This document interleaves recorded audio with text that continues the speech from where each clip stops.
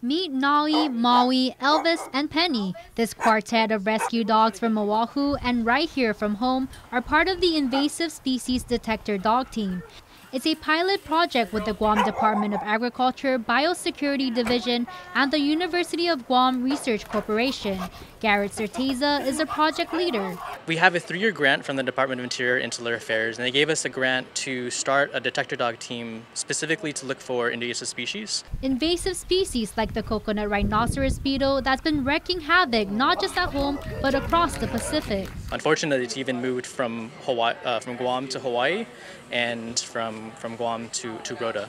So we hope to prevent the rhino beetle from moving to other islands. These working dogs can sniff out rhino beetles hiding in the cargo, making sure the invasive species don't reach our neighboring islands.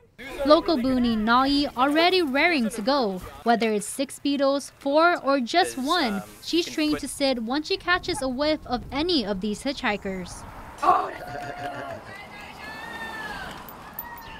Besides the detector dog team, program coordinator Andrea Bloss adding there's more the team is doing to prevent these destructive beetles from spreading. This is spores of the biocontrol fungus suspended in water, and we'll take this and treat the artificial breeding sites or breeding sites of the rhino beetle. From spraying biocontrol fungus to target larvae and eggs, injecting pesticide into coconut trees to target adult rhino beetles, to hanging pheromone lure panels around our ports of entry. It's all in an effort to save the tree of life not just at home, but throughout the Pacific. Matsuki Hariyama, KUAM News.